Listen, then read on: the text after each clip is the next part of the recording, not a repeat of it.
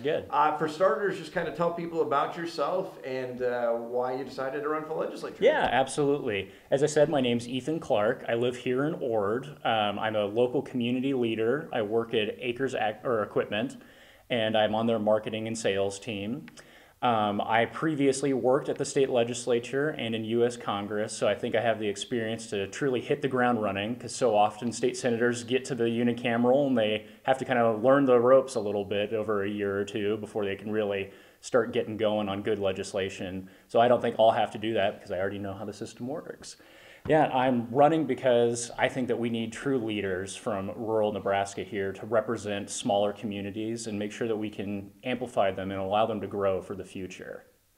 As you look around the 41st district, which is a pretty expansive district, are there some common themes or challenges, opportunities, things where the legislature can be engaged in that would positively benefit the people of the district? Yeah, absolutely. My priorities for my campaign, I think, really align with the values and the needs of the people of the 41st District. One, we need to lower tax burdens overall, especially property taxes. My belief is that you need to be cutting back on spending. Our state government is starting to look a little bit more like our federal government, not quite as bad, but it's overbloated in some areas, so we need to cut back on costs. That's the true way to get tax relief, not shifting taxes around between one thing or another. Um, and then second, rural economic development is huge. And that really encapsulates a lot of different things. Um, the thing that I hear about most knocking door to door across the district is there's not very many good housing opportunities, especially for younger families that are looking to either move back or move into small towns. They want better housing. Uh, it's just something that there's a true lack of in the district. And if we want good people here, we need good housing opportunities for them. And then that leads to even more housing because then there's more people to fill good jobs. Uh, and then lastly, of course, supporting our public schools. That's something that I'm really, really focused on, making sure that our education curriculums are controlled locally because I think that our local school boards and superintendents and principals and teachers know their communities best. Sure. So I want less state regulation and overreach uh, for our local schools and making sure that students aren't just getting the political ideology flavors of the month, they're getting just their education, and then we're relying on our communities, their families, their churches to truly teach them the morals of society, right? I think that's how it should be. You shared a little bit of your background. Uh, can you share a little more? Uh, you know, uh, are you a native Nebraskan? Where did you grow up? Um, you, you, talked a little bit about your some experience in government, uh, some of that. Yeah, yeah, absolutely. So I am a native Nebraskan here. I grew up in Papillion. Uh, my family originally settled in Rushville Gordon area. We're actually uh, potato and wheat farmers out there. Uh, back in the day, they sold off the farm in the late 80s, early 90s because property taxes were too high at the time. My grandparents were retiring. But um, uh, yeah, I have really great experience working in not only the state government, but in the United States Congress as well. So I worked for former Senator Andrew LaGrone, a staunch Republican candidate out of the Gretna area, and really focused on uh, voter ID laws, um, banking regulations, insurance regulations, and just strengthening our election system overall, as well as trying to lower tax burdens. So in that position, it really allowed for me to learn the unicameral and its unique processes because Nebraska is the only state that does it this way with one house. Um, and so I definitely think that I'll be able to go and research, draft, and advocate for strong legislation and also advocate against bad legislation. From the legislature, I went to go work in uh, DC for both Congressman Adrian Smith and then Senator Deb Fischer. Um, for Congressman Smith, I focus more on constituent responses, so making sure that I was the one answering the phone, I was the one replying to emails and letters, and kind of running the day to day operations of the office there. Um, after Congressman Smith's office, I went to Senator Fischer's office and uh, actually focused more on communication. So anything from press releases to talking with media members to uh, her social media. And I can tell you that dealing with a U.S. senator's Twitter account is a daunting task some days. so it's always entertaining to say the least. Um, after uh, living in D.C. for a few years, uh, my wife Elizabeth and I definitely always knew we were going to move back to Nebraska, and uh, she had asked me if uh, she if I would ever want to live in a small town like Ord, and I said, well, if we're going to move to a town like Ord, let's move to Ord because I know that that's a good place to raise a family, plant our roots, and truly get involved in the community. And it was the best decision we, frankly, have ever made. We've really enjoyed our time getting active in the community here. And I'm sure you know how it works in a small town. Once you volunteer for one thing, you volunteer for pretty much everything else. So I'm really active here. I'm on uh, the local teammates mentoring uh, chapter here as a mentor at the elementary school, and that's been a really rewarding program. I go to the elementary school usually once a week just to go eat lunch and have recess with a local kid here, and it's been a great experience. I'm also very involved in our church, uh, Our Lady of Perpetual Help Catholic Church here.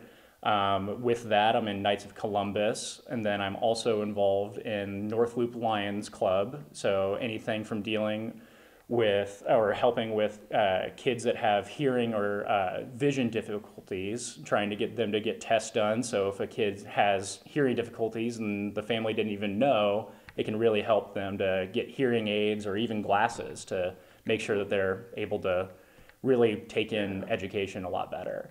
And then also, I'm on a local economic development board. Um, it's uh, called Greater. Uh, it's called the Greater Loop Valley Activities Inc. Okay. So it's actually a nonprofit that's focused on recreational activities, Okay. and then also uh, we're taking on the rural housing workforce grant for the area. So working on adding housing to the area. We're trying to build a few duplexes right now. We just hit the ground with a few shovels here in the last month. Greater Loop Valley Activities, okay. Gilva for short. Okay, Yeah. there we go. Yep. Uh, you, you mentioned a little bit about your understanding of the process. i one thing I've asked all the candidates about is just you're one of 49. A lot of work happens in committees. Um, how would you approach um, just what kinds of bills you would be interested in and what kinds of committees you might have an interest in serving on and, and some of that stuff? Yeah, absolutely. Well, at the end of the day, uh, the legislature really controls funds for the state, right? And so making sure that we're appropriating funds correctly is a huge thing. Um, I've really looked into a lot of different committees. I think that for this district, being on the agricultural committee could be very impactful.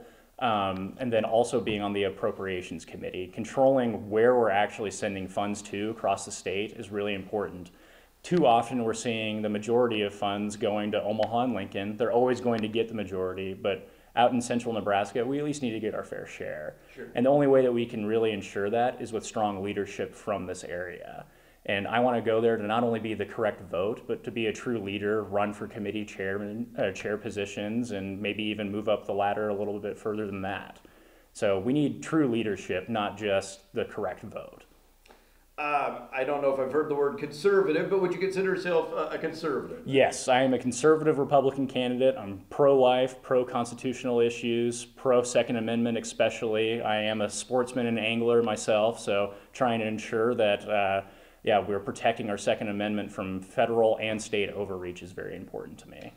Um, and then generally, um, well, it's, how do I want to ask this? Governor Pillen is the governor and will be for the foreseeable future here. Uh, do you have a relationship with him? Do you generally uh, like the direction he's taken things, or there's areas where maybe you would draw some distinctions? Uh, I don't know. How would you Yeah, yeah, no, I've gotten to know Governor Pillen well throughout his campaign and then now as governor.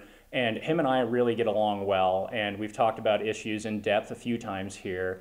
And I really appreciate his efforts in trying to lower property taxes.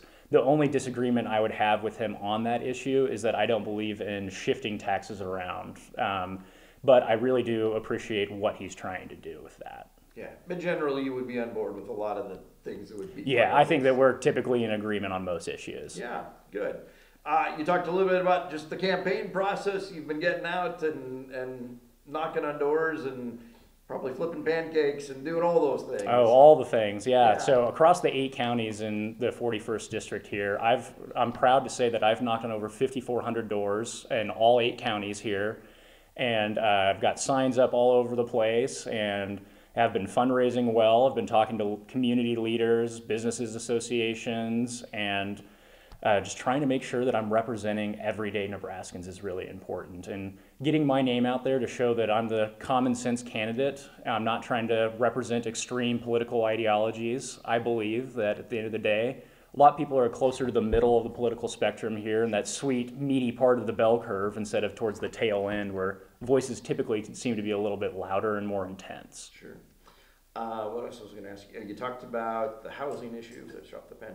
Um, and housing, that probably ties in also with workforce, childcare. Yep. A lot of those things are probably wrapped up together. Absolutely, yeah, yeah. So housing's kind of the first thing that I think needs to be addressed so that we can get more people here. And then we have more people to work in childcare opportunities. We've got more people to go and work in the trades in the area. Sure. I mean, working at AKRS Equipment, I know that like workforce is a huge struggle right now. Nebraska's blessed to have very low unemployment, but that also means there's not that many people for open jobs.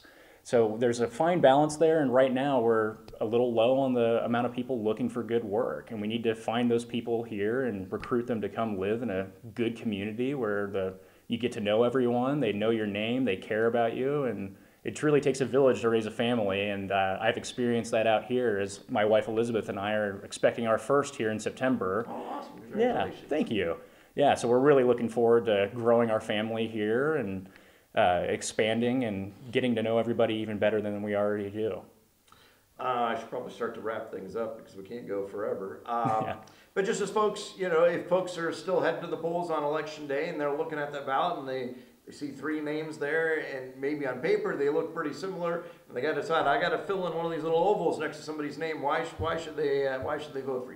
Yeah, I think people should vote for me, Ethan Clark, on May 14th because I'm the experienced local leader in the race. I've already been at the legislature, been in Congress. I know how to actually get things done. I've got a vast network of elected officials and organizations that I already have worked with in the past.